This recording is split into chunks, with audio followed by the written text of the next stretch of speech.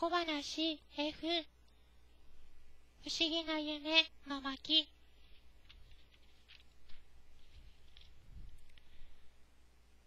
こんにちはハンターさん。お怪我の調子はどうですか？ああこんにちは。だいぶ良くなってきたよ。ありがとう。ねえねえハンターさん。今日もお話聞かせてください。ああいいよ。じゃあ今日は不思議なお話を聞かせてあげるね。はい、お願いします。私が子供の頃、鉱山で遊んでいたら、突然後ろから危ないと声が聞こえてきたんだ。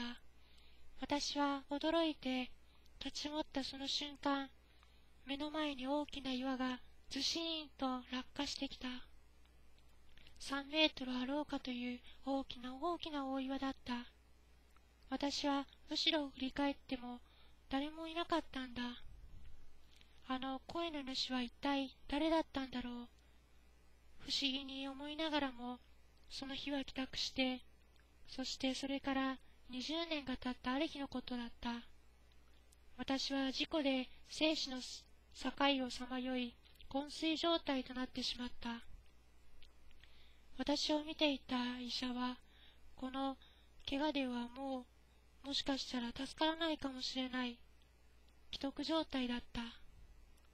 そしてその昏睡状態の時に私は、ある不思議な夢を見たんだ。私は夢の中で生まれ故郷の大地に立っていた。そう、その景色は私が子供の頃のまま、そのまますべて全く一緒だった。そして私は鉱山に最終に夢中になっている少年を発見した。その少年の頭上では大きな大きな大岩がぐらぐらとぐらついていた。私は思わず危ないと叫んでしまった。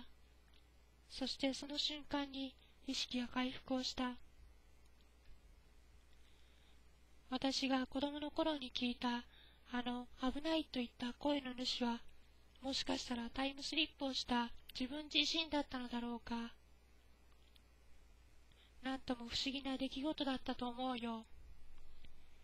そうですね、ハンターさん。世の中には不思議なことがいっぱいあるんですね。もしかしたらその危ないといった声の主ももしかしたら未来からタイムスリップをしたハンターさんだったのかもしれないですね。ああ、世の中には不思議なことがいっぱいだ。だがその不思議なことを発見していくことこそも、また楽しみの一つかもしれないな。そうですね、ハンターさん。バーン。もうはんこ話 F。不思議な夢の巻終わりです。ご視聴ありがとうございました。